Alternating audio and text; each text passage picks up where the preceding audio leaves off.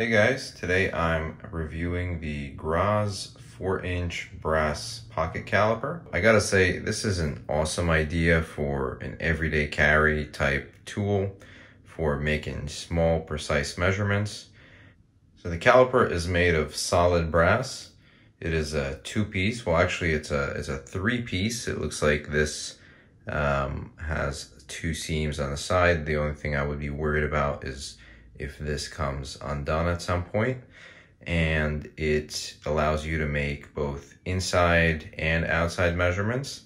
It's got both a metric as well as an SAE scale and it comes with this uh, plastic uh, carrying case a little bit flimsy and the, some residue left over from all the stickers so I may toss this and pick up a uh, leather carrying case for it. The numbers are both written as well as engraved, not super deep, but they're, you, you, you can feel them when you run your finger over it. And let's test it out to see just how precise this thing is. So here I have a couple of items that we for sure know the size of. One is a quarter inch drive magnetic impact driver adapter. So we know that this end is quarter inch. So let's go ahead and put that in there and check our measurement.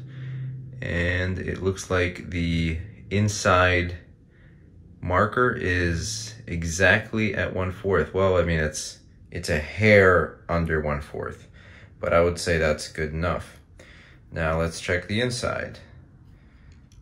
So it's almost at its maximum capacity, or rather minimum capacity, um, but the inside measurement is also one fourth. And we know that to be true for this particular adapter. Now let's try something a little bit bigger. Uh, we have this Milwaukee trim square. So let me bring this to two and a half inches, for example. Okay. And that looks to be exactly at two and a half. Awesome. Next, I have a 10 millimeter Allen key or Allen wrench. So let's see the metric scale, just how accurate that is. So let's just do it from this side. Okay.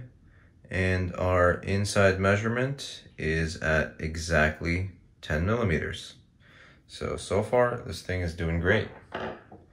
Now, real world example and something that I actually used this caliper tool for the other day. So I had a fastener that I needed to identify um, to call basically the, the big box store and figure out if they have it in stock. Um, I didn't really know, I couldn't really tell the size, obviously it was, wasn't written on there. So it wasn't this lag bolt, but this lag bolt would be an awesome example. So this is a 5 16th lag bolt.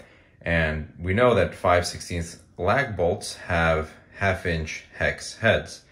So in this example, I'm on the job site. I need a replacement bolt. I need another bolt, whatever the reason. I don't have to, you know, guess and check. I don't have to bring the bolt with me. I, if I have somebody in the field who's doing, you know, shopping trips, I can give them a call and say, hey, I need to pick something up that's approximately half inch hex head. Um, I don't think this caliper would work for precision wood or metal work uh, for making your final measurements before you cut or attach something. Uh, I do think that this is an awesome tool for when you're out in the field and let's say you have a piece of pipe or something that you need to figure out the diameter quickly. It doesn't have to be super approximate. Uh, as we know, you know, conduit, for example, comes in three quarter inch, one inch, one and a half inch, one and a quarter inch right? And this tool is precise enough to tell you that information without having to like pull out your tape measure and awkwardly, awkwardly measure the diameter.